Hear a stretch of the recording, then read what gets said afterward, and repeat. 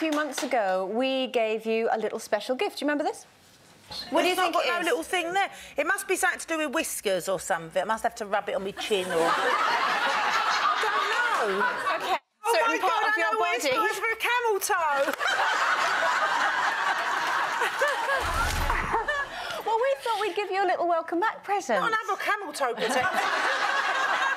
I've got one of them. Well, we thought yet again we would let you figure out what this Oh is. Do you have God. any thoughts as to what that might be? I reckon it's something to do with hair removal. I have a problem. Take it out. Hand- oh, I take it out. No, here you go. You take, take it out. There you go. Spoon. It's a spoon. It's not crude, is it?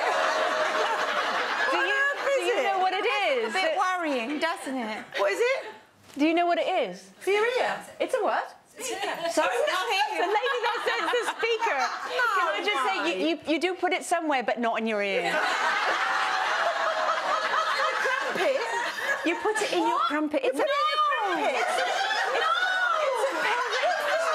a pelvic strengthener. You basically you put it in. Oh, it's a it- bit late for that now.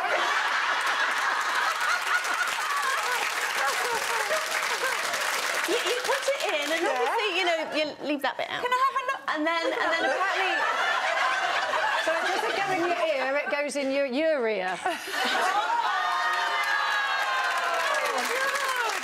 can I just say, don't try and do that either, because that would be really sore. That's very little. I'd like to Someone- donate someone. I don't need it. I don't need it now. It Looks like a dead tadpole. it?